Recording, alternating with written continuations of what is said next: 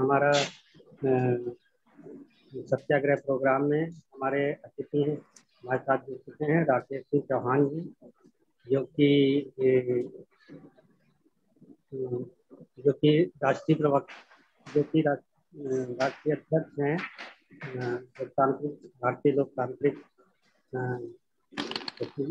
किसान यूनियन के और ये किसान आंदोलन में बहुत सक्रिय रूप से जुड़े रहे हैं तो हम चाहते हैं कि राकेश जी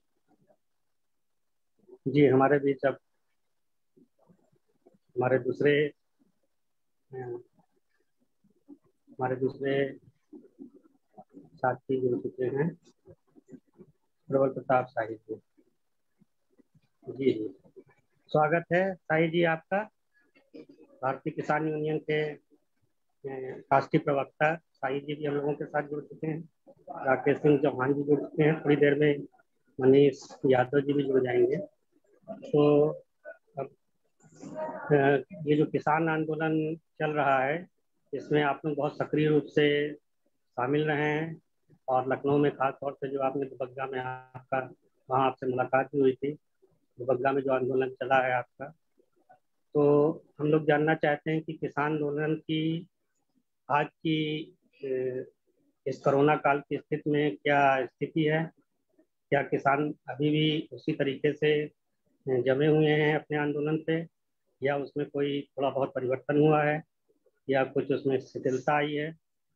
तो सबसे पहले हम राकेश सिंह जी से जानना चाहते हैं कि वो थोड़ा बताएँ, थोड़ा सा अपने संगठन के बारे में बताएँ, थोड़ा अपने बारे में बताएँ और बताएँ कि उनकी इस किसान आंदोलन में किस तरीके की भूमिका है।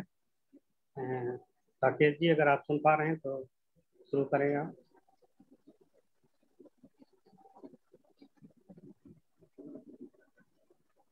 आवाज़ नहीं आ रही राकेश आवाज़ नहीं आ रही है। साई जी का वीडियो तो ऑन है लेकिन उसे आवाज़ नहीं मिल पा रही है। राकेश भाई आवाज़ नहीं आ रही है।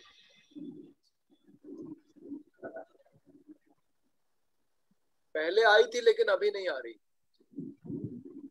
अगर राकेश जी सुन पा रहे हैं और वो अपना माइक ऑन करते हैं शुरू करें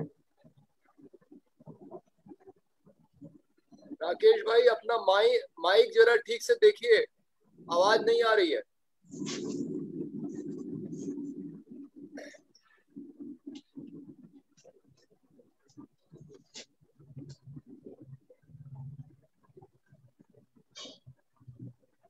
सुनाई नहीं पड़ रहा है सुनाई नहीं पड़ रहा आवाज़ नहीं आ पा रही है आपकी।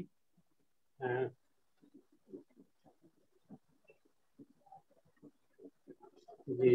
रुकिए मैं फ़ोन करता हूँ। तब तक आप आप प्रबल भाई से बातचीत शुरू प्रबल भाई भी हमारे साथ जुड़े हुए हैं जो कि राष्ट्रीय प्रवक्ता हैं। तो और मनीष जी तो प्रबल भाई आप अपना माइक ऑन कर लीजिए। और जी। भारतीय किसान यूनियन की इस किसान आंदोलन में क्या भूमिका है? और अब हम किस पड़ाव पे हैं इस आंदोलन के? के बारे में आप अपने बारे में अपने यूनियन के बारे में और किसान आंदोलन में आपकी भूमिका के बारे में थोड़ा सा हम लोगों किसान आंदोलन तो काफ़ी जो आज पाँच पाँच महीने से ऊपर हो गया यहाँ पर चलते हुए। और अभी 26 तारीख को पाँच महीना मनाया गया। यहाँ पर आंदोलन का। तो यह आंदोलन यथावत चल रहा है। आ, आ, लेकिन अभी उत्तर प्रदेश के अंदर खासकर गाजीपुर बॉर्डर पर उत्तर प्रदेश के अंदर जो पंचायत चुनाव हो रहे हैं जिसका लास्ट फ़ेज़ कल है और उसके बाद मतगणना दो तारीख को होगी तो काफ़ी लोग पंचायत चुनाव में किसान क्योंकि ग्रामीण अंचल का चुनाव है जैसा आप सबको पता है तो उसके कारण लोग अभी गाँव में रुके हुए हैं और इस समय कटाई का सीज़न है फ़सलों को काटने का सीज़न वो भी चल रहा है। तो वो सब चीज़ें इम्पैक्ट कर रही हैं। किसान आंदोलन में संख्या बल की स्थिति से ठीक है लोग स्थायी रूप से यहाँ हैं टेंट लगाकर हैं सारी सुविधाएँ दी जा रही हैं और यहाँ तक अब कोरोना प्रोटोकॉल्स को भी कोशिश की जा रही है सारी चीज़ें फॉलो वहाँ पे हो रही है। आ, दूसरा यह है कि बबल बना के किसान खुद है किसान ना कहीं जा रहे हैं ना कहीं आ रहे हैं ना दिल्ली जा रहे हैं ना दिल्ली से बाहर आ रहे हैं। वो जहाँ पे है यथावत वहीं पे बने हुए दूसरा आपने पूछा है कि जिस यूनियन से हम जुड़े हैं उसका नाम है भारतीय किसान असली। वो विगत तीन चार वर्षों से वो कार्य कार्य कर रहा है और इसके अध्यक्ष हैं हरपाल सिंह जी जो बिलारी के रहने वाले हैं मुरादाबाद और संभल के बॉर्डर। हेलो? अब आ रही है। हेलो? जी आ रही आ रही है आ रही है लेकिन अभी जरा आप ऑफ़ कर लीजिए अभी कमल प्रताप शाही जी बोल और हाँ। जी जहाँ तक आपने बोला है किसान आंदोलन का तो मुझे लगता है कि जैसे ये कोरोना काल का समाप्ति होगा क्योंकि इसमें सरकार तो सरकार ने बड़ा कोशिश की पहले राउंड में आपने देखा कि जब ऑक्सीजन के सिलेंडर्स ऑक्सीजन की कमी हुई दिल्ली में प्रवीण जी और संदीप जी तो बड़ी कोशिश की दो मीडिया चैनल के द्वारा नाम भी ले ले रहा हूँ। एक आर भारत, दूसरा आईबीएन जो सी एन एन आई है और न्यूज़ एटीन है सॉरी न्यूज़ एटीन जो हो गया है, उन्होंने बड़ी कोशिश की कि हाईवेज को खाली कराने के लिए उन्होंने आरोप तक लगाया कि किसानों के कारण ऑक्सीजन की सप्लाई रोक दी गई है बाधित की गई, ये आरोप लगाया गया इन मीडिया चैनलों के द्वारा। लेकिन ईश्वर, मैं कहता हूँ, मैं, हमेशा मेरा मानना है कि ईश्वर इस इस आंदोलन को चला रहे हैं। किसान चला रहे हैं, क्योंकि ये पवित्र उद्देश्य के कार्य के तहत ये चल रहा है, इसलिए तुरंत ही दूध का दूध पानी का पानी हो गया और पता चला कि ऑक्सीजन की कमी क्यों हुई, वो सर्वविदित है और सबको पता है। सरकार ने अपनी नाकामी को का ठीकरा फोड़ने की कोशिश की, जैसे उन्होंने पिछली बार अपनी नाकामी फोड़ने का, ठीकरा फोड़ने की कोशिश की थी आपके सी एनआरसी वाले आंदोलन को वैसे ही कोशिश उन्होंने इस पे भी की थी, लेकिन ईश्वर की कृपा से और किसानों के संबल के कारण और आप सब लोगों के जो संबल जो है, उसके कारण ये किसान ये किसान आंदोलन को फेल नहीं कर पाए और ये लोग अपने साजिश में नाकाम हो गए। जहाँ तक आपने बोला है कोरोना काल में किसान आंदोलन किसान आंदोलन यथावत चला है। उल्टा किसान जो है, आपको मैं बता दूँ कि गाजीपुर बॉर्डर से किसानों ने जब लॉकडाउन लगाया गया, पहला लॉकडाउन अभी लगाया गया आपके मेरे हिसाब से 18 19 19 तारीख के बाद जो लॉकडाउन लगाया गया। दिल्ली में जब मजदूर वहाँ से पलायन किए भारी मात्रा में तो किसी सरकार ने, न उत्तर प्रदेश, न दिल्ली सरकार ने, जिसके मुख्यमंत्री केजरीवाल है, न राष्ट्रीय स्तर की जो सरकार अपनी जिसके प्रधानमंत्री नरेंद्र मोदी, न यूपी की सरकार, जिसके मुख्यमंत्री योगी आदित्यनाथ है किसी ने उनका सुदबुद नहीं दिया। तो हज़ारों खाने के पैकेट्स गाजीपुर बॉर्डर से आपके आनंद विहार जो स्टेशन है, बस स्टेशन है, वहाँ पर गया और किसानों को वहाँ पर हमने दिया और ये भी कहा कि अगर आपको कहीं रुकने की असुविधा है या नहीं जाना चाहते हैं तो आप आकर किसान आंदोलन पर भी आकर यहाँ रह सकते हैं। यहाँ भोजन करिए, यहाँ लंगर छकिए, खाइए और आप रुकिए। तो किसानों का दिल बहुत बड़ा है, किसानों ने किया। और मैं एक और चीज़ कहता हूँ, जिस हिसाब से कोरोना काल में ये सरकार नाकाम साबित हुई और जिन जिन लोगों पर उसने आरोप लगाया। अभी जिस हिसाब से किसान आंदोलन जब हुआ तो इन लोगों ने सिख संगठनों को गुरुद्वारा के लोगों को खालिस्तानी तक बताया था। आज मैं आपको बताऊँ कि इंदिरापुरम में काफ़ी बड़ी संख्या में ऑक्सीजन लंगर लगा दिया गया है। जिन लोगों को ऑक्सीजन मिल नहीं रही, बहुत क्राइसिस चल रही है और हम एक ग्रुप भी चला रहे हैं। लाइफ सेव ग्रुप हमारे साथी मित्र हैं शिव कुमार मिश्रा जी, जिनको संदीप पांडे जी जानते भी हैं। स्पेशल कवरेज न्यूज़ हम लोग सब मित्र लोग मिलकर हम लोग एक ग्रुप भी चला रहे हैं। उसमें हम देख रहे हैं दो चार होते हैं रोज ऑक्सीजन के लिए। ऑक्सीजन सिलेंडर्स लोगों को नहीं मिल पा रहे हैं, लोगों को ऑक्सीजन कंसेंट्रेटर बेड्स नहीं मिल पा रहे हैं। उस भयावह स्थिति में यहाँ पर ऑक्सीजन की सप्लाई ऑक्सीजन देने का काम यहाँ पर लंगर चलाकर गुरुद्वारों में किया जा रहा है, इंदिरापुरम में। और एक और मैंने देखा कि एक साथी है, उनसे बातचीत भी होती है। गुड्डू भाई है, जिन मुस्लिम बिरादरियों को इस बीजेपी की गवर्नमेंट ने चिन्हित किया और अपमानित करने की कोशिश की, तमाम तरह के तमगे लगाए। आज वहाँ पर गुड्डू भाई जैसे मुस्लिम मुस्लिम समाज के लोग और मौलाना ताहिर साहब हैं चौधरी ताहिर साहब हैं, वो लोगों ने अपना एक एक मिशन बना लिया है। ऑक्सीजन ऑक्सीजन सिलेंडर सप्लाई कर रहे हैं घर घर जाकर। इस तरह की कोशिशें मुंबई में और यहाँ पर भी हो रही है, बाकी जगहों पर भी हो रही है। ये सरकार पूरी नाकाम हो चुकी है, नाकारा है और इसके, इससे ज़्यादा हम कोई भरोसा नहीं कर सकते। इसलिए मैं आपको बताऊँ, किसान आंदोलन अब इस देश के अंदर जो उसने जागृति पैदा की है, अब इस कोरोना की नाकामी के कारण, कोरोना की नाकामी के कारण जो सरकार है, ये सरकार एक तरीके से आप कहें कि बेनकाब हो गई है जनता के सामने और इसका परिणाम आने वाले समय में आपको दिखने दिखने लगेगा। तो बहुत अच्छा आपने बताया कि जिन जिन जिन संगठनों को सरकार बदनाम करने की कोशिश कर रही थी, किसान आंदोलन को बदनाम करने की तरह तरीके से कोशिश की गई और अभी हाल में ये आरोप लगाया गया कि ऑक्सीजन सप्लाई में बाधा बन रहे हैं किसान आंदोलन के जो वहाँ पे बैठे हुए हैं गाजीपुर बॉर्डर में। तो सबके बाद में ये सब गलत साबित हुआ और सही दामद सही बात सामने आ गई। तो अब हम अगर हमसे राकेश जी बात कर सकते हो तो हम उनसे भी जानना चाहते हैं। हाँ राकेश राकेश भाई अब अपना माइक ऑन कीजिए। हाँ माइक माइक ऑन कर लें। राकेश चौहान जी।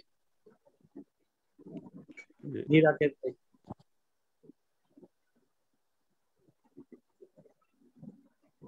राकेश जी अपना माइक ऑन कर लीजिए और आपसे भी हम लोग जानना चाहेंगे कि किसान आंदोलन इस समय आवाज़ आ रही है हाँ आ रही आ रही आ रही बोलिए बोलिए। हाँ। इस समय आंदोलन दिल्ली की सड़कों पे जैसे चल रहा था अनवरत वैसे ही चल रहा है। एक तो पूरे देश में गेहूँ की कटाई चरम पर है। इसलिए कुछ भीड़ कम हो गई है। दूसरे, उत्तर प्रदेश में पंचायत चुनाव को लेके वोट डालने के लिए किसान घरों आ गया था। उसकी वजह से गाजीपुर बाज़ार पे भीड़ कम दिखाई दे रही है, लेकिन किसानों में अपने आंदोलन के प्रति उत्साह कम नहीं है। एक निगाह किसानों की पंचायत चुनाव पर है, गाँव में है, गाँव के मुखिया को चुनने में है और एक निगाह किसानों की एक आँख गाजीपुर बॉर्डर पर है। जिस समय कोई आवश्यकता पड़ेगी, चाहे वो चुनाव बीच में छोड़ना ही क्यों न पड़ जाए किसानों को, वो अपने आंदोलन के लिए गाजीपुर बॉर्डर पर पहुँचने का काम करेंगे। गेहूँ कटाई के बाद, क्योंकि ये आंदोलन किसानों की अस्मिता से जुड़ा हुआ है। ये आंदोलन किसानों के बच्चों के भविष्य से जुड़ा हुआ है। ये आंदोलन किसानों की मात्र बचाने के आंदोलन से जुड़ा हुआ है। ये आंदोलन किसानों के पेट से जुड़ा हुआ है, इसलिए किसी भी आंदोलन, किसी भी कीमत पर ये आंदोलन कमज़ोर नहीं होगा और किसान जब तक अपनी मांगे मनवा नहीं लेता है, तब तक दिल्ली की सड़कों को छोड़ने के लिए तैयार नहीं है। इस समय कोरोना विषम परिस्थिति उत्तर प्रदेश में चल रही है।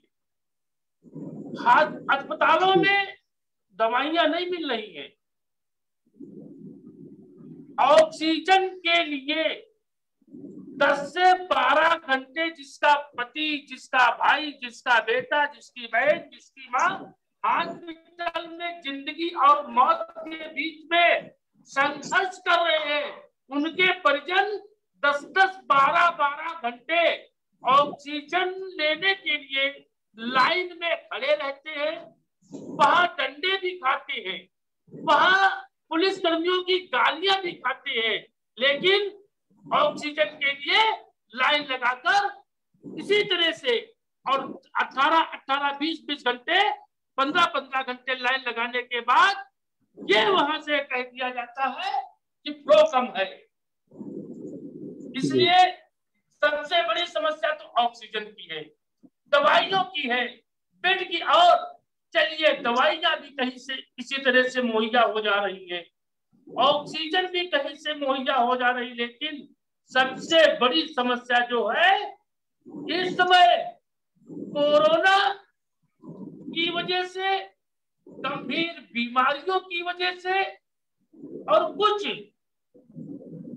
नेचुरल डेथ की वजह से शमशान ग्रहों पर सौ ग्रह केंद्रों पर दस दस घंटे की लाइन लगी हुई है। सरकार के पास शवों के निस्तारण की व्यवस्था नहीं है। लखनऊ के नगर निगम के द्वारा आज मैंने न्यूज़पेपर में देखा, मैंने पढ़ा, लखनऊ नगर निगम के द्वारा सरकार से मांग की गई है कि मेरे पास शवों के निस्तारण के लिए लकड़ी नहीं बची है। व्यवस्था नहीं है। इसके लिए सत्तर लाख रुपए की धनराशि तुरंत सरकार निगम को उपलब्ध कराए, जिससे शवों का निस्तारण कराया जा सके। ये स्थितियाँ हैं। सरकार की तरफ़ से न दवा स्टोरों पर कोई अंकुश लगा पा रही सरकार, न ऑक्सीजन की पर्याप्त व्यवस्था करा पा रही सरकार, न अस्पतालों में समुचित व्यवस्था करा रही है। यहाँ तक कि जो कोरोना संक्रमण में इंजेक्शन दिया जाता है जिसकी कीमत ढाई से तीन सौ रुपए है, वो काला बाजारी में बीस से पच्चीस हज़ार रुपए में बिक रहा है। सरकार को अंकुश लगाना चाहिए। सरकार को के पास इतने सूचना तंत्र है, इतनी खुफिया एजेंसीज है, वो एजेंसी क्या कर रही है? वो खुफिया तंत्र क्या कर रहे हैं? सरकार चारों तरफ़ से विफल है। सरकार न तो किसानों को न्याय दे पा रही है, न अस्पतालों में व्यवस्था करा पा रही है, न छात्रों, नौजवानों को रोज़गार दे पा रही है, न अस्पतालों में दवाइयाँ दे पा रही है। और इसके अलावा जब गरीब, किसान, मजदूर, परेशान, बेरोजगारी, महँगाई चरम पर है, और इसके अलावा जब कोई आम आदमी सड़क पर निकलता है तो मास्क नहीं, अगर कहीं धोखे में मास्क न पहने हो तो चालान। अगर हेलमेट न लगा हो तो चालान। अगर चार पहिया वाला सीट बेल्ट न बांधे हो तो चालान। छोटी छोटी गलतियों में पाँच पाँच हज़ार रुपए तक के चालान आम आदमी का किया जा रहा है। मास्क पर चालान किया जाता है, पैसे वसूले जाते हैं, लेकिन पैसे वसूलने के बाद भी पुलिस कर्मियों द्वारा जिसका चालान किया जाता है जिससे पैसे वसूले जाते हैं उसको मास्क भी नहीं उपलब्ध कराया जाता है। अगर आम आदमी छोटी गलती करे तो चालान कटेगा। आम आदमी छोटी गलती करते तो जुर्माना लगेगा। आम आदमी छोटी गलती करते तो जेल जाना पड़ेगा। और प्रशासन स्वास्थ्य की सुरक्षा की ज़िम्मेदारी नहीं ले पा रहा है। सरकार स्वास्थ्य की सुरक्षा की गारंटी नहीं ले पा रही है। इनके ऊपर कोई जुर्माना नहीं लग रहा है। ये लोकतंत्र है। लोकतंत्र में जनता मालिक होती है और आज मालिकों के ऊपर मुसीबत आई हुई है। मालिकों के ऊपर महामारी का कहर चल रहा है। मालिकों के ऊपर प्रकृति का कहर चल रहा है और जिम्मेदार मालिकों की सुनने के लिए तैयार नहीं है। जिम्मेदार मालिकों के अधिकारों को देने के लिए तैयार नहीं है। इसका इसलिए पूरे उत्तर प्रदेश में इस समय त्राह त्राह मची हुई है। और किसान जी जी काटने के बाद पश्चिमी उत्तर प्रदेश में गन्ना लगभग समाप्ति की तरफ़ चल रहा है। गेहूँ की कटाई लगभग पचहत्तर परसेंट हो चुकी है। गेहूँ की कटाई होने के बाद गन्ने की कटाई होने के बाद गन्ना मिल में पहुँचने के बाद किसान पूरे जोश के साथ, पूरे उत्साह के साथ, फिर आंदोलन में अपने वापस जाने के लिए तैयार है। और अब की बार जब किसान आंदोलन में जाएगा तो आर पार की लड़ाई लड़के और अपना हक लेने के बाद ही वहाँ से वापस आएगा। खाली हाथ किसान वापस नहीं आएगा। जी, हम अब प्रबल जी से ये जानना चाहते हैं कि जैसा कि कुंभ मेला के बाद और बहुत सारा कोरोना फैला हुआ है। तो क्या किसान आंदोलन में भी किसान इस तरीके के प्रिकॉशंस ले रहे हैं कोरोना के खिलाफ? या तरीके से कुछ सावधानी बरत रहे हैं? जैसा कि गाजीपुर बॉर्डर और दूसरी जगह का, काफ़ी काफ़ी जगहों पर मास्क वितरण भी हुआ है और सैनिटाइजर्स भी आ, काफ़ी जगहों पर लगाए गए हैं एंट्रेंस पॉइंट पे। और इसलिए हम प्रोटोकॉल्स को फॉलो कर रहे हैं। और इस तरह स्वतः ही लोग काफ़ी दूरी दूरी बनाकर, क्योंकि गर्मी का सीज़न है तो लोग स्वतः ही अपने टेंटों में रहते हैं और बहुत ज़्यादा अगल बगल घूमने टहलने का काम किसान इस समय कम कर रहे हैं। क्योंकि वहाँ धूप में रहना पड़ता है तो किसान उस तरह आदतन तो उनको उनको आदत है इस तरह के चीज़ों में रहने के तो उन्हें कोई दिक्कत नहीं है। दिक्कत तो शहर में रहने वालों को ज़्यादा होती है तो ग्रामीण अंचल के लोग हैं, वो तो ऐसी चीज़ों से दो चार हमेशा होते हैं। और दूसरी चीज़ ये है कि कुछ काढ़ों का वितरण भी किया गया है तो काढ़े भी लोग पी रहे हैं। और बाकी आप जान ही रहे गर्म भोजन करते हैं और काफ़ी पौष्टिक भोजन वहाँ किया जाता है। एक बात मैं ये कहना चाह रहा था कि आ, आ, मेरे भी अपने इस कोरोना काल में खोए हैं मेरे बड़े भाई मौसा के बेटे खोए हैं तो आ, वो लोग बीजेपी के कट्टर समर्थक हुआ करते थे एक समय में अभी भी हैं लेकिन अभी थे अब पता नहीं।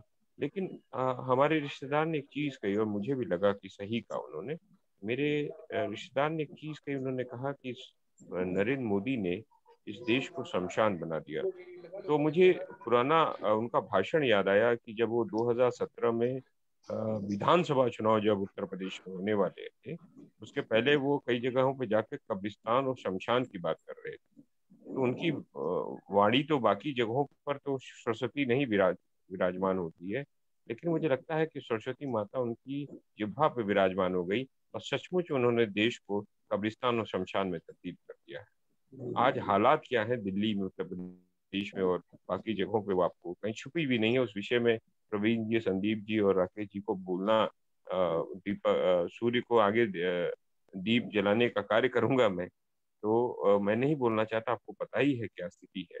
स्थिति इतनी भयावह है कि मैं आपको बताऊँ, संदीप जी, कल एक व्यक्ति का फ़ोन आया मुंबई से, वो मेरा कॉन्टेक्ट नंबर निकाल के लाए और जब तक ऑक्सीजन सिलेंडर की बात थी गुड़गांव में, जब तक मैं किस से बात कर पाता, दो बार कॉल भी तीसरी बार जैसे कॉल की, उन्होंने कहा कि, अब रहने दीजिए प्रबल जी, हमारी माता जी, चल। वो क्षण बड़ा ही अजीब से था। हम एक दिन पहले अपने भाई को खोए एक दिन ये, इस तरह के दो तीन इंसिडेंट्स हो गए। कि लोग संदीप जी भी एक एक डिबेट में रहते उसमें मनीष गुप्ता जी मनीष गुप्ता जी आरएसएस के के प्रचारक भी है और उनके भाई साहब आरएसएस के बहुत बड़े व्यवस्थापक थे और उनको बेड नहीं मिल पाया। उनको बेड नहीं मिल पाया और ऑक्सीजन के सिलेंडर की कम, कमी मानिए सब कुछ करिए और मुश्किल से ऑक्सीजन पहुँचा तब तक वो एक्सपायर कर यही हाल उत्तर प्रदेश में, हमारे गोरखपुर में एक प्रदेश प्रदेश के पदाधिकारी पूर्व रहे, बहुत अच्छे रसूखदार व्यक्ति हैं। उनकी पत्नी को, उनकी धर्म पत्नी बीमार रही, वो वो डीएम को और कमिश्नर को फ़ोन करते रह गए। फ़ोन करने के बावजूद अस्पताल में बेड नहीं मिला, किसी तरीके से प्राइवेट हॉस्पिटल में बेड मिला तो वही ऑक्सीजन रोना और उसके बाद ऑक्सीजन की कमी, की भरपाई नहीं हो पाई। जब तक ऑक्सीजन आया, लगा तो उसकी भरपाई नहीं होने के कारण उनकी पत्नी भी दिवंगत तो ये सब बहुत ज़्यादा डिसहार्टेड मतलब दिल को दुखाने वाला हृदय को दुखाने वाले आ, कुछ इंसिडेंट्स हमारे सामने आए। और जहाँ तक आपने बोला किसान किसान पहले से पौष्टिक पौष्टिक आहार का मैंने योग योग गुरुओं से बात की तो उन्होंने बोला कि जितना पौष्टिक आहार हम खाएँगे और साइंटिस्टों ने भी इंटरव्यूज़ देना शुरू कर दिया कि जितना पौष्टिक आहार खाएँगे और नेचर के नज़दीक रहेंगे उतना ये कोरोना के वेरिएंट्स अगर, सारे वेरिएंट म्यूटेंट्स अगर बनते भी रहेंगे, अगर शरीर में आएँगे तो कुछ बहुत ज़्यादा बिगाड़ नहीं पाएँगे। एक्चुअली हमने अपनी अपनी चीज़ों को इम्यूनिटी के लेवल को हमने खुद ही, मैं स्वयं उसका दोषी हूँ। और हम सब लोग की जो इस समय लाइफ स्टाइल होगी वो कुछ अलग टाइप की है। तो ये सब चीज़ें हैं और बाकी वैक्सीन का प्रभाव तो संदीप जी के ऊपर है और मैं बड़ा खुश हूँ कि संदीप जी स्वस्थ हैं और निरोगी काया मिले इन्हें। क्योंकि जब इन्हें जिस दिन इन्हें इन्होंने इंजेक्शन लगवाया था उस दिन शायद रामदत्त त्रिपाठी जी के पिताजी का देहांत हो गया था वैक्सीन लगाने के सीतापुर की कोई रैली थी और मैंने संदीप जी को बोल दिया फिर मुझे लगा कि मैंने गलत बोल दिया संदीप जी ने उसको हस उन्होंने हँसी से ले गए और मैं आग्रह भी करूँगा हमारे कि अब 18 से 45 साल का जो भी है और एक लोग वैक्सीन लगाएँ एक चीज़ प्रवीण जी मैं जोड़ना चाहता हूँ संदीप जी। इस समय जो एक नया जो चीज़ होने वाला है जो मेरी समझ है हो सकता है मेरी समझ गलत भी हो सकती है लेकिन मैं जो देखता हूँ मैं अनुभव जो कर रहा हूँ पहले हमारे घरों में पानी के नाम पर वाटर प्योरीफायर लगाया गया।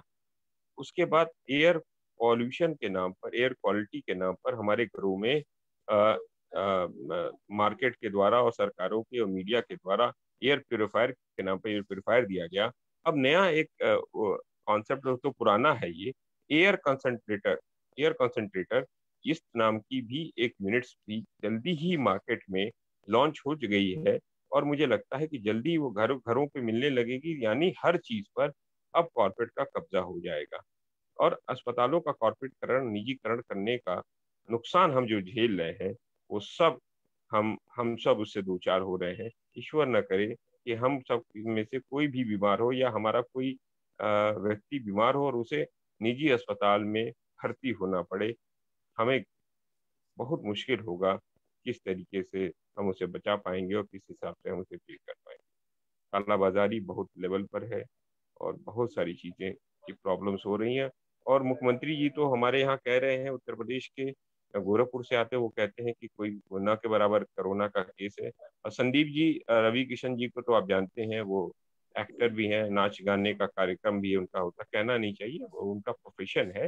लेकिन उन्होंने अभी एक डेढ़ महीने पहले उन्होंने एक राजघाट जो अपने गोरखपुर की राप्ती नदी पर राजघाट का लोकार्पण हुआ वहाँ पर उन्होंने कहा प्रवीण जी की यहाँ पर जो जलेगा उसे बहुत मज़ा आएगा और वो सीधे स्वर्ग जाएगा। और उसके बाद आपको मैं बताऊँ गोरखपुर में लाशों के ढेर लग गए अंत्येष्टि स्थल पर अंत्येष्टि होती जा रही है और बहुत बड़ा एक विडंबना है कि रवि किशन सांसद होते हुए उन्होंने कहा कि गोरखपुर में शून्य मौतें हुई। जी जी। और उस समय मुख्यमंत्री जी स्टेज पे भी बैठे थे जब वो ये बात स्टेज पे बैठ के हंस रहे थे वो हंस भी रहे थे उसकी बात हाँ, हाँ ये तो, और ये एनएसए के नाम पे सबको डरा रहे हैं कि हम एनएसए लगा देंगे और क्या कहा जाए एनएसए लगा देंगे तो क्या हो जाएगा? अगर ऑक्सीजन मांगना एनएसए भी एनएसए लगाओगे आप सांसों पर भी मांगने पे से लगाओगे बेड मांगने पे एनएसए लगाओगे तो क्या करना है? कोई डरने की ज़रूरत नहीं है कितने लोग से लगाएँगे? उनके पास तो जेल ही नहीं रह जाएँगी फिर किसान को बंद करेंगे लोगों को बंद करेंगे किसको किसको ये बंद करेंगे? ये एक चीज़ अगर आप अगर आप लोगों की अगर आप लोगों की थोड़ी अनुमति हो तो दस मिनट और रहूँगा क्योंकि मुझे एक और एक और जगह जाना है शो में। तो अगर आप लोग मुझे अनुमति दें तो मैं नौ नौ पैंतीस तक मैं आप लोगों से थोड़ा विदा लेना चाहूँगा। अगर आप लोग अनुमति दें तो। जी ये एक आपसे और प्रश्न था कि अभी कुछ दिन पहले BJP MLA doctor Radha Mohan Das Agarwal ji ने जो कि गोरखपुर के एमएलए हैं। उन्होंने कहा था अदर पूना वाला जो है वो एक डकैत है। इसके हम्म। बारे में आप कुछ कहना चाहेंगे? नहीं, नहीं, मैं आ, मैंने खुद आपसे कहा कि ये मार्केट को बनाया जा रहा है।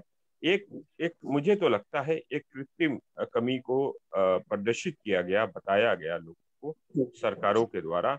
डेढ़ सौ की को कोविड शील्ड और जो भी था कोवैक्सीन अगर ढाई सौ रुपए में प्राइवेट हॉस्पिटलों में मिल रही थी और बाकी जगहों पे फ्री लग रही थी तो आज अगर वो पहला शॉट ढाई सौ रुपए में लगाया है तो दूसरा शॉट लगाने जाएगा तो उसे आठ सौ हज़ार रुपए खर्च करने पड़ेंगे मुझे लगता है उसे सर, सरकारी प्राइवेट हॉस्पिटलों में। और राज्य सरकारें तो फ्री की बात कर रही हैं, फ्री देंगी, लेकिन राज्य सरकारों को भी पे करना पड़ेगा, तीन सौ रुपये आज कोविड जब हल्ला हुआ, हम सब लोगों ने हल्ला किया तो ये तरीके से साढ़े चार हज़ार करोड़ रुपए का अनुदान सरकार ने दिया है इन इन वैक्सीन कंपनियों को। मैं तो मांग करता हूँ कि इन दोनों कंपनियों का अधिग्रहण सरकार कर ले। जब तक कोरोना का का है कि अलग अलग रेट्स का क्या मतलब वजह है क्यों हाँ, वही वही चीज़ है? रेट का क्या मतलब जो अनुदान सरकार दे रही है साढ़े चार हज़ार करोड़ रुपया सरकार खुद अनुदान दिया है तो जनता का ही पैसा है।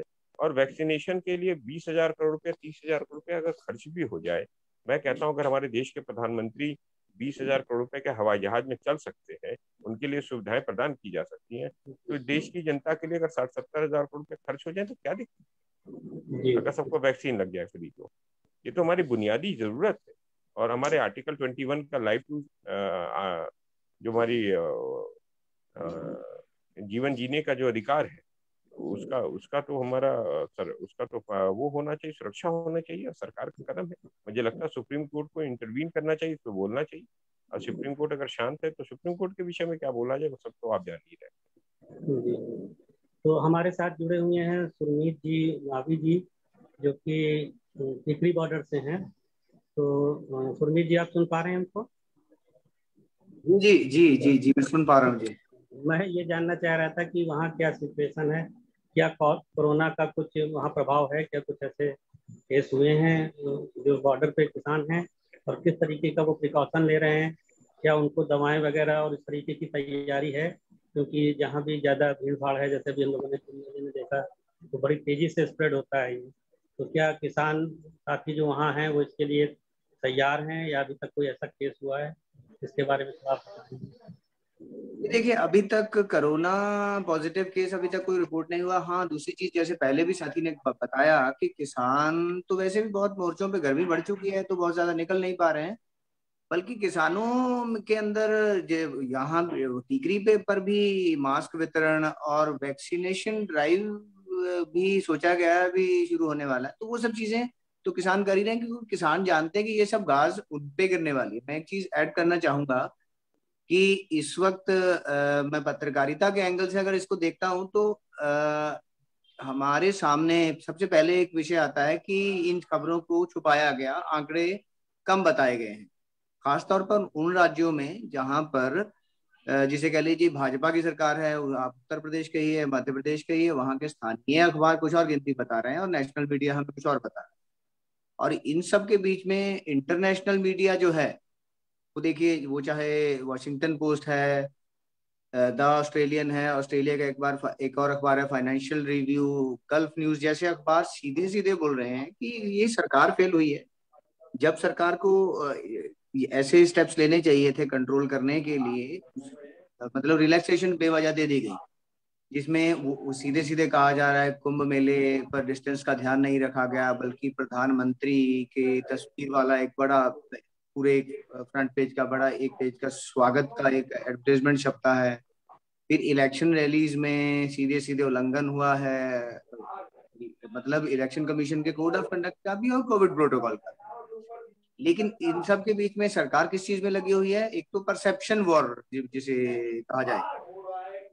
इन सब का कारण कौन है? किसानों को धरना स्थगित कर देना चाहिए और कोविड ठीक हो जाने तक। तो किसान तो रोष की वजह से बैठे हैं मेरा एक सवाल है।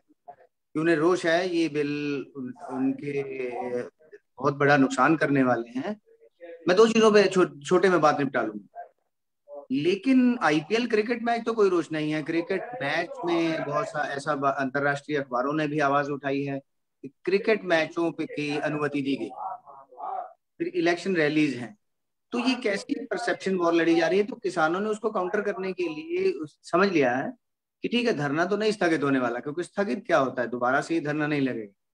तो ये सब मोर्चों पे चल रहा है और जैसे साथी ने बताया कि हमें समाचार आते हैं कि गाजीपुर मोर्चे से, बल्कि एक तो ऐसा कुछ नहीं है जहाँ की गैस आपूर्ति को ऑक्सीजन की आपूर्ति को रोका गया बल्कि और कम्युनिटी रिस्पांस जितना किया जा सकता है, जैसे फ़ूड पैकेट्स गाजीपुर मोर्चे से यहाँ किसान सहायता के लिए तैयार लेकिन इन सब के बीच में जैसे साथी ने कहा कि सुप्रीम कोर्ट इसका संज्ञान ले, लेकिन सुप्रीम कोर्ट क्या कह रहा है कि नेशनल एमरजेंसी अब मद्रास हाई कोर्ट के चीफ जस्टिस कहते हैं कि इलेक्शन कमीशन इन सब चीज़ों की वजह है कि उन चार राज्यों में और एक यूपी में ध्यान नहीं रखा गया कोविड प्रोटोकॉल का। तो इलेक्शन कमीशन के लोगों के बारे में उनकी क्या हैसियत आज है? तो सुप्रीम कोर्ट के जज भी तो इंसान ही है ना, वो जानते हैं कि उनके बस में क्या था। और मद्रास हाईकोर्ट कह रहा है कि जब ये सब चल रहा था तो आप क्या किसी दूसरे ग्रह पे तो यही प्रश्न मैं माननीय चीफ जस्टिस मद्रास हाईकोर्ट से भी पूछना चाहूँगा कि कोर्ट के पास ये भी अधिकार है कि वो शो मोटो ले सके, वो एक जब चल रही चीज़ें, उसमें ज़रूरी नहीं कि उसके पास केस आए। ऐसी आपदा की स्थिति में वो नोटिस लेके, वो नोटिस जारी कर सकते थे तब जबकि ये इलेक्शन रैलीज चल रही थी। तो अभी भी वो बयाना सीजेआई का भी बयान आना कि नेशनल इमरजेंसी से जैसी सिचुएशन है तो इन सब में साथ में एक जुड़ के एक लाइन क्यों नहीं आती कि ये नेशनल इमरजेंसी जैसी सिचुएशंस का संबंध महाकुंभ की अनुमति और स्पेशल ट्रेनें चलाए जाने से भी है और एक क्रिकेट मैच करवा दिए जाने से भी है और बड़ी बड़ी इलेक्शन रैलीज में कोविड प्रोटोकॉल का उल्लंघन करने से भी है। तो सवाल ये एक है और जहाँ तक किसानों का सवाल है तो किसान वहाँ सब कुछ ठीक रखने के लिए, वो मरने के लिए तो कोई भी नहीं गया है। ना ही उन्हें देश के लिए रिस्क बनना है। किसान वो है जो देश को या दुनिया भर में किसान भोजन देता है, जीवन देता है, जीवन लेता नहीं सबको अपनी जानों की फ़िक्र है, सो जो जो किया जा सकता है, वो किया जा सकता है। मैंने जैसे मैंने कहा कि वैक्सीनेशन ड्राइव भी ठीकरी पे चर्चा हुई है कि वैक्सीनेशन ड्राइव शायद शुरू हो जाएगा एक आध दिन। उसके साथ मास्क डिस्टेंसिंग तो अपने आप ही हो रहा है और जैसे साथी ने कहा प्रबल प्रताप जी ने कि किसान एक हेल्दी फ़ूड ले रहा है। वो एक आदत है, एक साधारण खाना है। वहाँ पे जब आप पिज्जा बर्गर जंक फ़ूड से बचे हुए हैं, जो कि आंदोलन में वैसा सा खाना होता है तो ये स्थिति है कि किसान मोर्चों की और देश में सरकार क्या स्टैंड ले रही है? और मीडिया के एंगल से मैं ये कहना चाहूँगा कि जब इन दिनों में, जब अंतरराष्ट्रीय मीडिया बात उठा भी रहा है कि ये सरकार की लापरवाही है तो वो ट्वीट ट्वीट्स डिलीट करने में और पेज बंद करने में लगे हुए हैं, जो इमेज ओवरहॉल है या परसेप्शन वॉर लड़ने में है कि अपना गाज किसी और पे, अपना इल्ज़ाम किसी और पे डाल दिया जाए। तो सब चीज़ों में हमारा क्या क्या समझ विकसित होती है, क्या हमें स्टैंड लेना चाहिए? तो इतनी मेरी बात थी जी। तो अच्छा है, मैं बहुत से विचार आपसे भी साझा हुए तो मुझे ये भी मौका मिला। तो इससे सब चर्चा मेरा ख्याल चलनी चाहिए कि शायद अगर हो सके तो ये जो परसेप्शन मिला जा। रहा है इस तो भी इसके साथ नावल जी जाना चाह रहे थे तो मैं कहता हूँ कि वो जी जी। जाने से पहले अपना कुछ फाइनल Uh, मैं uh, भाई साहब मैं यही कहना चाहता हूँ कि पहले तो मैं आप लोग से माफ़ी माँगता हूँ कि मैं पूरे समय नहीं रह पा रहा हूँ। और uh, दूसरी चीज़ ये है कि इस समय जो सरकार का जो दायित्व था, जो जवाबदेही थी, सरकार उसमें पूर्णतः नाकाम हो गई है। और जो अभी साथी ने माभी साहब ने कहा भी कि सरकार अपनी ब्रांडिंग और अपनी पोजिशनिंग को करने में ज़्यादा व्यस्त है, जितना एड पे पैसा अभी लगा है उत्तर प्रदेश सरकार का और केजरीवाल मुख्यमंत्री ने भी अपने एड पे और प्रधानमंत्री ने एड पे किया है, मुझे लगता है अगर उसका एक चौथाई भी अगर पैसा लगा दिया होता तो ऑक्सीजन सिलेंडर्स की ऑक्सीजन प्लांट्स लग गए होते उत्तर प्रदेश और दिल्ली में। और देश के कई कोनों पर। लेकिन सरकार ने इस पर ध्यान नहीं दिया, क्योंकि सरकार का पूरा ध्यान कॉर्पोरेट घराने को नया बिज़नेस प्रदान करना है। और हम लोग जैसा आधार पुना वाला वाला स्थिति में जैसे बताया कि डकैत है और मेरा भी मानना डकैत ही नहीं है ये लोग क्या है ये इंसान नहीं है। आज देखिए जिस तरीके से समाज एकजुट हो गया है और सबसे बड़ी चीज़ कोरोना काल क्राइसिस में मैंने देखा है कि बहुत सारी दुख के क्षण में कुछ सुकून करने वाले भी क्षण दिखे हैं कि आज जो जाति और धर्म के दीवारें हमारे बीच में बना दी गई थी, वो तोड़ दिया है लोगों ने।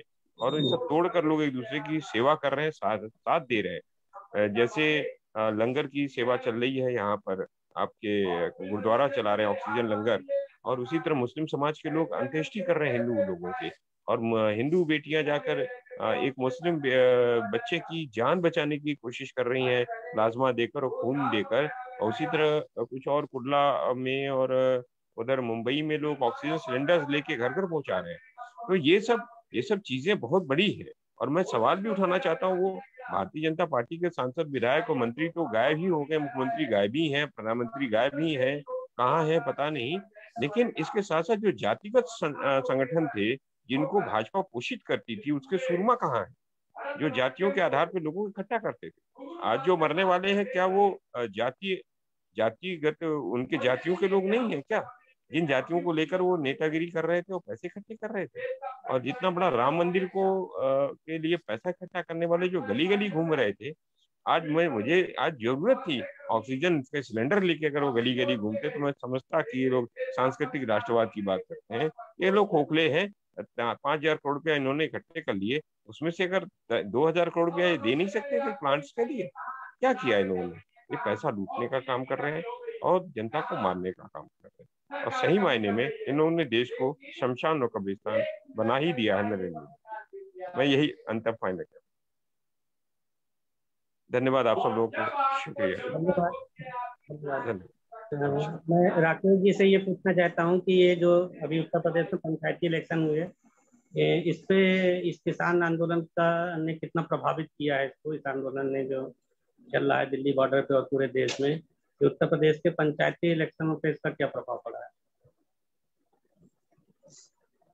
राकेश जी।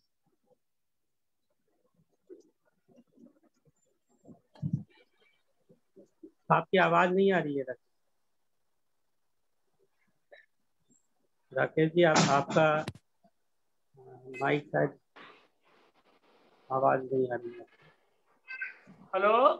जी जी हाँ अब आई आवाज़ अब आ रही है अब आ रही है। अब आ रही है। उत्तर प्रदेश के पंचायत चुनाव में इस किसान आंदोलन की बड़ी छाप देखने को मिली है। पंचायत चुनाव में भाजपा के द्वारा जिला पंचायत सदस्य के लिए अपने नामित उम्मीदवारों को जहाँ पर खड़ा किया गया, हमारी समझ में, मैं पूरे उत्तर प्रदेश की बात तो नहीं बता पाऊँगा, लेकिन जहाँ जहाँ मैं देख रहा हूँ, वहाँ वहाँ भारतीय जनता पार्टी से समर्थित समर्थित जो उम्मीदवार थे, मेरी निगाहों में नब्बे परसेंट वो पराजित होंगे।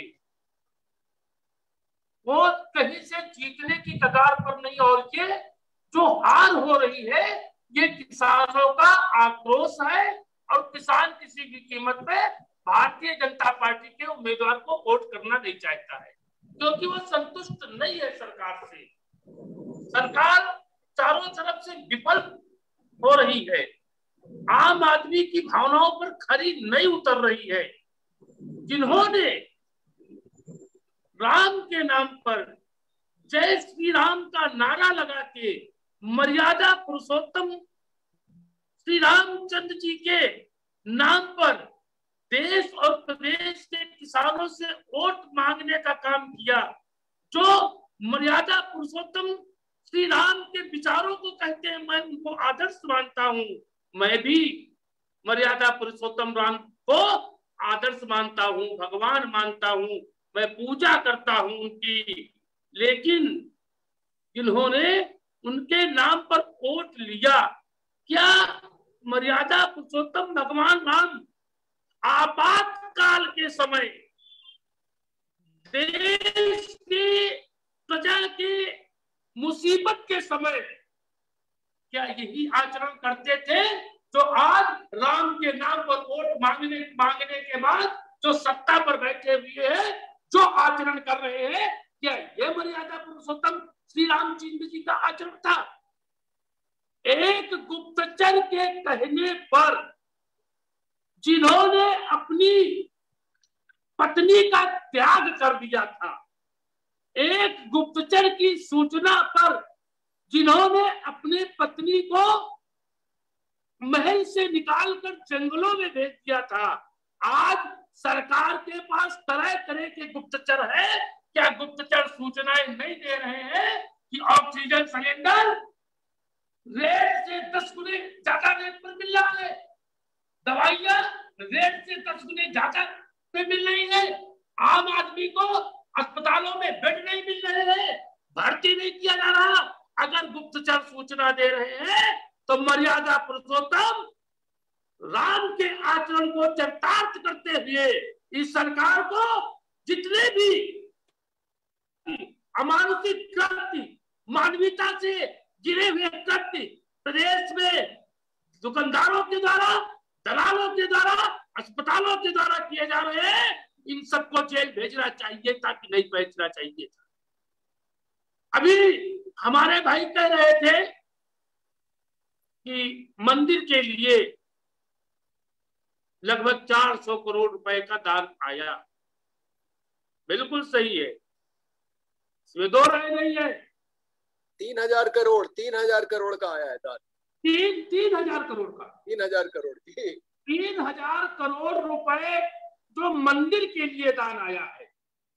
वो देश के एक एक नागरिक ने मंदिर बनाने के लिए दिया है और मंदिर में पूजा करने देश का नागरिक जाएगा। जब देश में जनता ही नहीं रह जाएगी, देश में श्रद्धालु ही नहीं रह जाएँगे, देश में आदमी ही नहीं रह जाएगा तो देश में आवाम ही नहीं रह जाएगा तो पूजा करने कौन जाएगा? पूजा कौन करेगा? मंदिर किसके लिए बनाया जा रहा है? पहले अगर वास्तव में राम के चरित्र को मानते हैं, अगर राम के आदर्श को मानते हैं तो राम ने अपनी प्रजा के लिए संपूर्ण त्याग किया। और उसी तरह से इन सरकार में बैठे हुए जिम्मेदारों को पहले अपनी जनता के लिए प्रजा के लिए लोकतंत्र के भाग्य विधाता के लिए संपूर्ण व्यवस्थाएँ करने के बाद दूसरा काम करना चाहिए। मेरा ये मानना अहमद जी वो उल्टा रहा है। वो उल्टा रहा है। प्रजा के साथ न्याय नहीं हो रहा है। और अगर रामायण की बात कही जाए तो रामायण में एक दोहा आता है। जा सुराज प्रिय प्रजा तुखारी सो अवश्य नरक अधिकारी। जिस राजा के काल में, जिस राजा के राज्य में प्रजा दुखी होती है, प्रजा परेशान होती है, प्रजा को कष्ट होता है, वो राजा नर्क का अधिकारी होता है। अगर रामायण में ये बात सत्य लिखी है, अगर तुलसीदास जी ने ये दोहा सत्य लिखा है तो मैं कहता हूँ, उत्तर प्रदेश के मुख्यमंत्री और माननीय प्रधानमंत्री नरेंद्र मोदी जी को नरक में भी जगह नहीं मिलेगी जब देश की प्रजा दुखी है और वो अपने चुनाव में मस्त है। वो चुनाव रैलियाँ कर रहे हैं। वो अपनी वोट को बटोर रहे हैं। अगर रामायण की बात सत्य है तो इनको नर्क में भी जगह नहीं मिलेगी। ये मैं कहना चाहता हूँ। मैं नहीं कह रहा हूँ, ये रामायण कहती है। इसलिए आम आदमी अपनी ज़िम्मेदारी का निर्वाहन करते हुए और गाँव में किसान और मजदूर को कोरोना ज़्यादा अटैक नहीं कर पाएगा, क्योंकि ये मेहनत कस है, ये पसीना बहाने वाले हैं और ये पिज्जा, बर्गर, चाउमीन, कबाब, पराठा नहीं खाते हैं, ये दाल और रोटी खाते हैं, चटनी रोटी खाते हैं, ये मट्ठा पीते हैं, ये दूध पीते हैं, ये एक हज़ार, दो हज़ार किलो रुपए की मिठाई नहीं खाते हैं, ये गुड़ खाते हैं। और गुड़ खाने से, मट्ठा पीने से, दूध पीने से, नमक रोटी खाने से, दाल रोटी खाने से, जो ताकत इनके शरीर में है, वो कोरोना इनके शरीर से टकराकर चूर चूर हो जाएगा। कोरोना इनका कुछ नहीं कर सकता है। इसलिए गाँव में कोरोना नहीं फैलता है। कोरोना फैलता है तो मेहनत नहीं करते। जो हराम की खाते हैं, जो फास्ट फ़ूड पर जीवन व्यतीत कर रहे हैं, जो ऐसी कमरों में रहते हैं, उनको कोरोना अटैक करता है। लेकिन अटैक चाहे जिसको भी करे, चाहे वो गरीब हो, चाहे वो अमीर हो, है तो मेरे देश का ही नागरिक, है तो मेरे प्रदेश का ही नागरिक, और देश, प्रदेश के एक एक नागरिक का ज़िंदा रहना ज़रूरी है। एक एक नागरिक की सुरक्षा की ज़िम्मेदारी सरकार को लेने की आवश्यकता है। अगर सरकार ज़िम्मेदारी नहीं ले सकती है तो नैतिकता के आधार पर इनको अपने पदों से इस्तीफा दे देना चाहिए। सुप्रीम कोर्ट कह रहा है कि ये चुनाव आयोग की गलती है। सुप्रीम कोर्ट कह रहा है कि ये चुनाव की वजह से कोरोना संक्रमण ज़्यादा फैला है। मैं सुप्रीम कोर्ट के ऊपर कोई टिप्पणी करना नहीं चाहता हूँ। मैं हाई कोर्ट के ऊपर कोई टिप्पणी करना नहीं चाहता हूँ। मेरे लिए संभव नहीं है। लेकिन जिस तरह से टिप्पणी कर रहे हैं, अगर इसी तरह से विशेषाधिकार के तहत स्वतः संज्ञान लेके आम आदमी की जीवन रक्षा के लिए, आम आदमी की सुरक्षा के लिए, देश के मतदाताओं की, देश के नागरिकों की सुरक्षा के लिए ये कदम उठाते तो हमारी समझ में ज़्यादा अच्छा होता। सुप्रीम कोर्ट को बयानबाजी नहीं करनी चाहिए, सकारात्मक कार्य करना चाहिए, सकारात्मक कार्रवाई करनी चाहिए।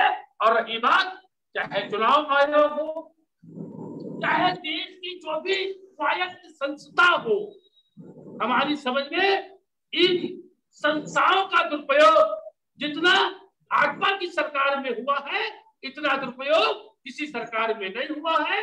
कोई भी संस्था निष्पक्ष रूप से अपना कार्य नहीं कर पा रही है, जो भी कार्य हो रहे हैं भाजपा सरकार के इशारे पर हो रही है।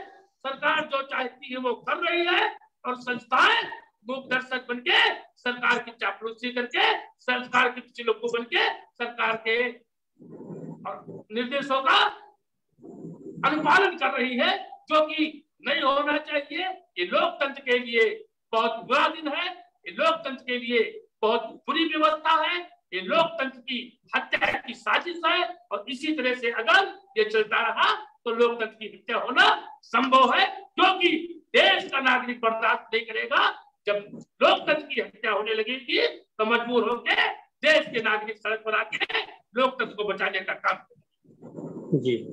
तो राकेश जी हमारे साथ जो पार्टिसिपेंट जुड़े हुए हैं वो अपने कुछ प्रश्न रखना चाहते हैं। तो अहमद जी का हाथ काफ़ी देर से उठा हुआ है। अहमद जी आपको कोई प्रश्न है तो आप पूछ सकते हैं। अहमद जी? जी जी। मेरा हाँ। प्रश्न ये है कि जैसे हमारे माननीय मुख्यमंत्री योगी जी ने बोला कि ऑक्सीजन की या बेड की कोई कमी नहीं है और इसके लिए जो फर्जी अफवाह फैलाएगा उसको, उसके ऊपर एनएसए लगाया जाएगा। तो जैसा कि मैं सुबह से आज फेस कर रहा हूँ, मैंने तीन चार लोगों को जो है ऑक्सीजन की ज़रूरत थी तो किसी तरीके से डीएम और एसडीएम को फ़ोन करके अवेलेबल करवाया। फिर हमारे यहाँ एक शैक्षिक महासंघ है जो टीचरों की है, अध्यापकों की है। और उन लोगों के भी फ़ोन आए कि हम मतगणना में नहीं जाना चाह रहे हैं। तो हमने कहा, भाई, अगर नहीं जाना चाह रहे हो तो मत जाओ। दो तीन कॉल, दो तीन बार ये हमारी बातचीत हुई कई लोगों से। उसके बाद शाम को पाँच बजे मेरे पास डीएम कार्यालय से फ़ोन आया कि आप लोगों को भड़का रहे हैं और आपके ऊपर एनएसए लगाया जा सकता है। तो मैंने कहा कि, भाई, अगर ऐसा आप करना चाहते हैं तो आप स्वतंत्र हैं, आप करिए। आगे जो कार्रवाई होगी फिर हम उसको देखेंगे कैसे किया जा सकता है। तो मेरा प्रश्न ये है कि क्या लोगों को जमीनी हकीकत से रूबरू करवाना देशद्रोह है?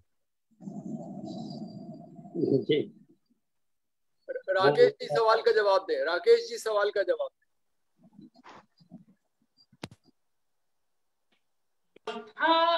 को समाज के सामने लाना जमीनी हकीकत को दिखाना जमीनी हकीकत की आवाज़ को उठाना, आम आदमी की समस्या को उठाना, वास्तव में ये दोष द्रोह नहीं है, ये तो समाज की सेवा के रूप में आता है।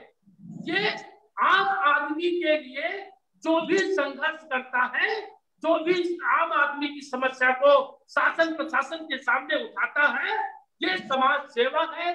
समाज सेवा बौद्धिक व्यक्त करते हैं, समाज के विषय में चिंतन करने वाले लोग करते हैं, लेकिन इस समय समस्या इस बात की है कि जो भी व्यक्ति भारतीय जनता पार्टी में है, जो भी व्यक्ति सरकार की बात करता है, वो तो देश प्रेमी है।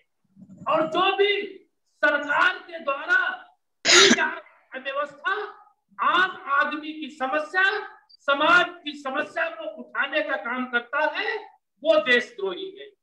देश प्रेम और देशद्रोह का प्रमाण पत्र हमको किसी सरकार से लेने की आवश्यकता नहीं है।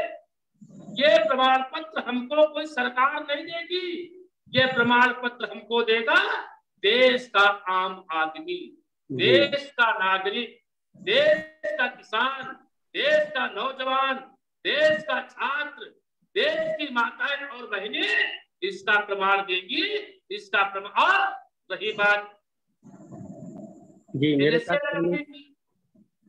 राकेश जी हमारे साथ जुड़े हैं। सुरमीत जी भी कुछ पूछना चाहते हैं एक प्रश्न उन्होंने उठाया है। तो मैं चाहता हूँ कि सुरमीत जी खुद ही उस उस चीज़ को उठाएँ। उन्होंने क्वेश्चन पूछा है। सुरमीत जी आप पूछ सकते हैं उस प्रश्न को। जी प्रश्न तो नहीं मेरा एक पॉइंट है कि एक सही है सुन पा रहे हैं मुझे जी? जी हाँ बताइए अपना पॉइंट बताइए एक छोटा सा पॉइंट है कि वो एक जैसे एक सही समय या सही तो नहीं कह, कहना चाहिए ऐसी एक स्थिति बनी हुई है देश की। तो जब हम एसेंशियल कमोडिटीज आवश्यक वस्तुओं की बात करते हैं तो थोड़ा पीछे याद आता है कि कोरोना की पहली लहर में मास्क और सैनिटाइजर ब्लैक में बिक रहे थे। एक दस रुपए का बीस रुपए का मास्क, सौ रुपए का बिक रहा था और एक सौ रुपए का सैनिटाइजर, पाँच सौ रुपए का बिक रहा था, तब जाके सरकार को उन्होंने क्या किया कि इसे एसेंशियल कमोडिटीज की लिस्ट में शामिल किया गया। ये ज़रूरी वस्तुएँ हैं, इनका प्राइस ऐसे नहीं बढ़ाया जा सकता और इन्हें स्टोर करके इनकी कालाबाजारी नहीं की जा सकती। तो इस संदर्भ में आज किसान जो तीन बिलों पे लड़ रहे हैं तो इससे शायद हमें समझ में आता है कि एसेंशियल कमोडिटीज क्या है, ज़िंदा रहने के लिए ज़रूरी वस्तु।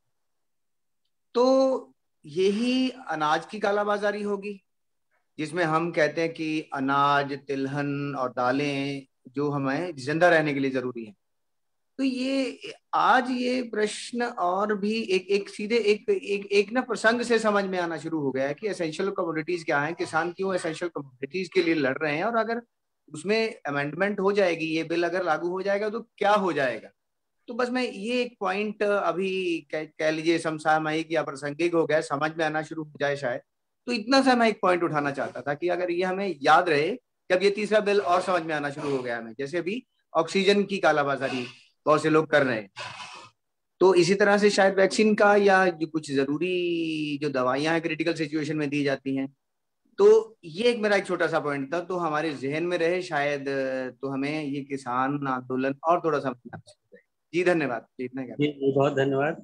तो अब हमारा समय भी खत्म हो रहा है तो मैं चाहूँगा कि राकेश जी अब अपना कोई फाइनल कमेंट करना हो तो करके इसको वाइंड अप किया जाए क्योंकि हमारी नेक्स्ट मीटिंग मेरे दो छोटे पॉइंट और रह गए हैं दो छोटे पॉइंट ज़्यादा बड़े पॉइंट नहीं है। जी जी जी हाँ, पहला पॉइंट ये है कि कानपुर अमर उजाला को कल कानपुर के जिलाधिकारी ने नोटिस सर्व करवाया है। क्योंकि कानपुर के अखबार ने यह प्रकाशित किया था कि चार सौ सड़सठ अंत्येष्टियाँ हुई हैं और सूर्यास्त के बाद भी अंत्येष्टियाँ हो रही हैं, जो कि हिंदू धर्म में जिसकी मान्यता नहीं है। इसको लेके कानपुर की जिलाधिकारी ने कानपुर के अमर उजाला को एक नोटिस सर्व करवाया है। तो इस तरीके के ये लोग, जैसे कह सकते हैं कि अभिव्यक्ति की आज़ादी। अब, समाचार पत्रों जो इनके खिलाफ बोलेंगे, उनको भी ये लोग भोजेंगे। दूसरा सवाल ये हमारा है कि दिल्ली में अब इन्होंने एलजी को पूरा वो दे दिया आधिपत्य दे दिया है मतलब पूरी सरकार एलजी चलाएगी। तो इससे दिल्ली पे क्या फ़र्क पड़ेगा क्या असर पड़ेगा? जी जी बहुत वैलिड पॉइंट है। तो राकेश जी इस पर टिप्पणी आपकी हम चाहते हैं जो अहमद साहब ने पूछा है मोहम्मद अहमद जी राकेश जी आपकी क्या टिप्पणी चुनी हुई सरकार दिल्ली की बात आई चुनी हुई सरकार को स्वतंत्रता के साथ काम करने न देना ये एक तानाशाही प्रक्रिया है। ये देश के नागरिक के का अपमान है। ये मतदाता का अपमान है। ये वोटर का अपमान है। देश के आवाम जिसने वो चुनी हुई, जिसने चुना है, उसका अपमान है। और ये अपमान भारतीय जनता पार्टी की ही सरकार में हो सकता है, दूसरी सरकार में संभव नहीं। ये होने की स्थिति में आम आदमी मजबूर होकर सड़क पर आएगा। सड़क पर आने के बाद जो स्थितियाँ और परिस्थितियाँ बन रही हैं। जब कोई अपने हक के लिए अपनी आवाज़ उठाएगा, जब कोई भी व्यक्ति आम आदमी के समस्या, आम आदमी की ज़रूरत, आम आदमी के कष्टों की आवाज़ उठाएगा और उसके ऊपर मुकदमे लिखने की, जेल भेजने की, देशद्रोही बनाने की साजिश होगी, उनके ऊपर नोटिस भेजी जाएगी तो मजबूर होके पूरे देश सड़क पर निकल के आ जाएगा। जब अंग्रेज़ों की हुकूमत थी, बोलने का अधिकार भी नहीं था आम आदमी को, तब तो आम आदमी ने सड़क पर आके अंग्रेज़ों की हुकूमत, उनकी तानाशाही, उनकी बंदूकों की ताकत उनकी तोपों की ताकत को समाप्त करने का काम अगर हिंदुस्तान का किसान हिंदुस्तान का गरीब कर सकता है तो लोकतंत्र में अपनी बात कहने से आम आदमी को कोई रोक नहीं पाएगा। और जिस आम आदमी ने जिस प्रदेश में अपनी सरकार बनाई है, उस सरकार को भी आम आदमी काम करने के लिए कोई भी रोक नहीं पाएगा। सरकार को काम करना पड़ेगा। अगर सरकार को कोई काम करने नहीं देगा तो जिन्होंने वोट दिया है वो सड़क पर आके जो रोक रहा है उसको भी रोकने का काम आम आदमी करेगा ज़्यादा कुछ कोई कर नहीं पाएगा। जी जी। राकेश जी बहुत धन्यवाद आपका। आपने अपना कीमती समय निकाला। और हम चाहते हैं कि संदीप जी अपनी फाइनल टिप्पणी के साथ इसको समाप्त कर दें। आज से आज की इस मीटिंग को हम यही समाप्त करें? संदीप जी। करना चाहता हूँ। नहीं बहुत बहुत धन्यवाद। हम बहुत दिन से कोशिश कर रहे थे कि राकेश सिंह चौहान जी का एक इस तरह का सत्र हो जाए पर हमें मालूम नहीं था कि क्योंकि कई बार ग्रामीण इलाकों में कनेक्शन ठीक नहीं रहता। तो आ, मुझे मालूम नहीं था कि कनेक्शन कितना अच्छा मिल पाएगा इसलिए मैंने मनीष यादव जी को भी कह के रखा था। लेकिन चलिए आज इनका कनेक्शन बहुत अच्छा था बहुत अच्छी तरह से बातचीत हुई। और हमें अब समझ में आ गया कि इनके साथ भी हम जब चाहे बातचीत हो सकती है। तो राकेश जी का धन्यवाद दूँगा कि आ, आप आज आए और आपको शुभकामनाएँ। आप चुनाव में खड़े हैं जिला पंचायत के आप जिला पंचायत सदस्य हैं पहले से भी दोबारा चुनाव लड़ रहे हैं। आपको शुभकामनाएँ। आप दो तारीख को विजयी हो और ये तो छोटी जीत है और जो आपकी बड़ी लड़ाई है किसान आंदोलन उसमें भी आप जीते ऐसी आपको शुभकामना बहुत बहुत धन्यवाद। ठीक है अब हम लोग ये किसान आंदोलन वाला सत्र समाप्त कर रहे हैं और सवा आठ बजे जो कोविड को लेके जो एक सेवा शुरू की जा रही है मीटिंग सवा आठ बजे शुरू होगी। तो जो लोग